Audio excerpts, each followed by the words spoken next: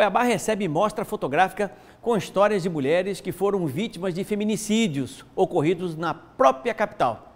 A exposição tem como objetivo conscientizar a sociedade sobre o impacto da violência de gênero. A reportagem é de Nayana Bricá. Todas as pessoas que passam pelos painéis se deparam com mulheres que tiveram a vida interrompida de forma cruel. São 12 telas que trazem fotos e informações sobre as vítimas e o crime sofrido por elas. A advogada Andréa Núcia, que também é mãe, acredita que, apesar de triste, é uma realidade que precisa ser exposta para a sociedade. Estamos todos à mercê dessa mesma condição, né? Então, realmente, assim, é uma situação que não são só as vítimas aqui apresentadas, mas toda uma sociedade. Cuiabá é a terceira capital que recebe uma mostra como essa. Nas outras cidades, as vítimas expostas eram de diversas regiões do país, mas aqui decidiram retratar casos recentes de feminicídio que aconteceram na capital.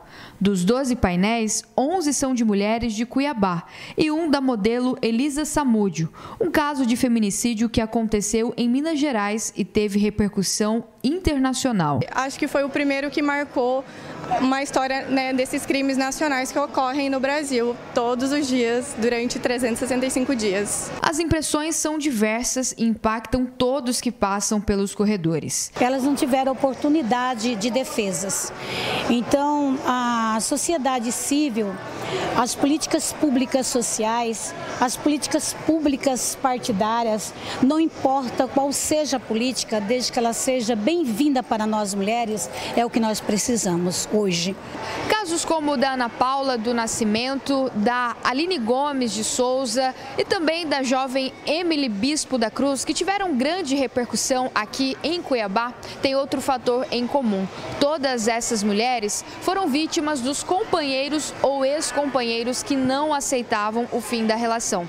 E todas elas morreram deixando filhos, crianças que eram filhas também do feminicida. Todas as fotos foram autorizadas pelas famílias das vítimas. A exposição é realizada através da Secretaria da Mulher do município, tem apoio do Ministério Público do Estado e da Virada Feminina Nacional e fica até o final de outubro no Shopping Pantanal. A Procuradora de Justiça trabalhou por mais de 15 anos no enfrentamento à violência doméstica e diz que essa mostra representa muito para as vítimas e também para as famílias. As pessoas terão chance de conhecer um pouco da história dessas vítimas, das famílias delas, o que aconteceu com o seu algoz e a partir daí criar uma conscientização, um questionamento íntimo, uma discussão, um debate sobre a temática. Um dos casos estampados na mostra foi acompanhado de perto pela procuradora.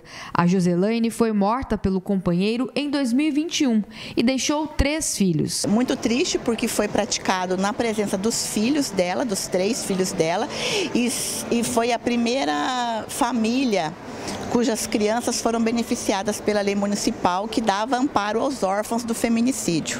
A procuradora lembra do pacote antifeminicídio que foi sancionado recentemente e acredita que isso pode ajudar a diminuir os índices de violência contra a mulher no país.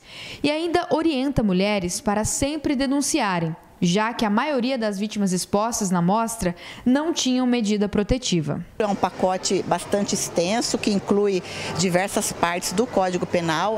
Houve um aumento da pena do feminicídio como um crime autônomo de 20 para 40 anos de prisão. Em algumas circunstâncias, a pena mínima pode chegar até a 27 anos de prisão. O crime de ameaça, que é um prenúncio do crime de feminicídio, também sofreu o dobro da pena, mudou o procedimento também. Eu creio que melhorou até, porque tira da mão da vítima é, a decisão final de prosseguir ou não com o processo, que ela ainda detinha esse direito de voltar atrás, e muitas vezes elas voltam atrás e são assassinadas depois que elas desistem do procedimento.